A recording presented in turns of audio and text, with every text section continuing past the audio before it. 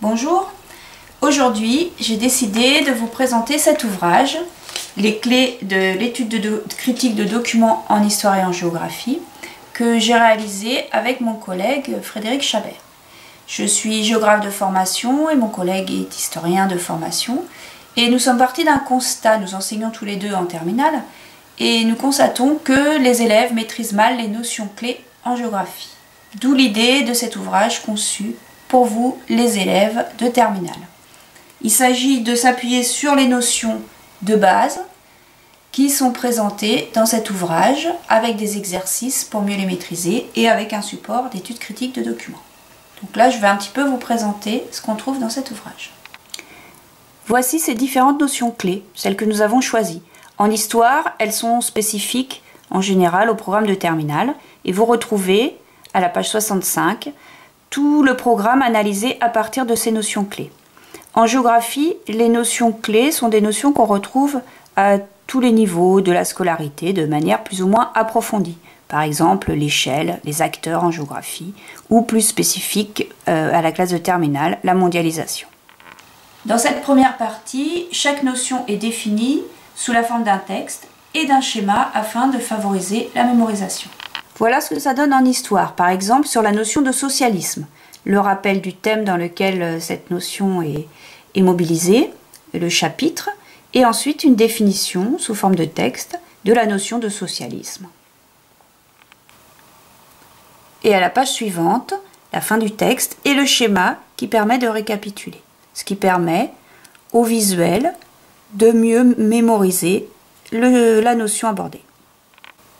Autre exemple en géographie sur la mondialisation, une notion assez classique, mais qui a ses spécificités en géographie.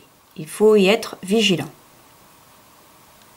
Et de la même manière, le schéma qui permet de visualiser cette définition d'une manière un peu différente. À la suite de la définition, des questions d'apprentissage sous forme de QCM. Il s'agit surtout de vous aider à mieux comprendre la notion en faisant des allers-retours entre ces questions d'apprentissage et la définition qui se trouve juste avant. Même chose en histoire, les questions d'apprentissage sous forme de QCM, par exemple le socialisme est une idéologie, vrai ou faux, et ensuite, ce qu'on retrouve pour chaque notion, un exercice d'application. Il s'agit ici de mobiliser la notion sur un support documentaire. Par exemple ici, il faut identifier les caractéristiques de l'idéologie socialiste en complétant un organigramme à partir d'un petit texte. Voici l'organigramme en question.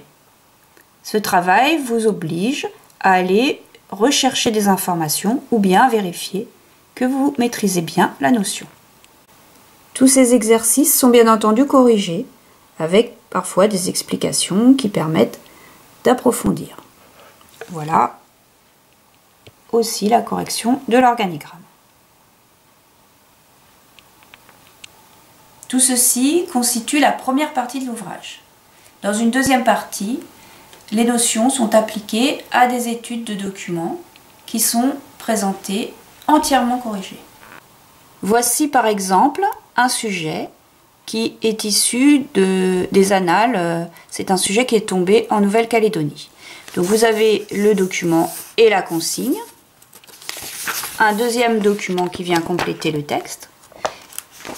Et ensuite, le travail d'analyse, les questions incontournables, la distance critique, les échelles d'analyse, les acteurs en présence. Donc ici, vous voyez qu'on remobilise des notions qui ont été présentées dans la première partie.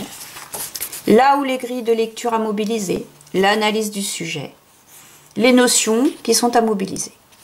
Et enfin, la question en quoi les documents permettent-ils de répondre au sujet posé Ensuite, la réponse est entièrement rédigée avec les notions mises en valeur et les différentes étapes qui sont présentées sur le côté.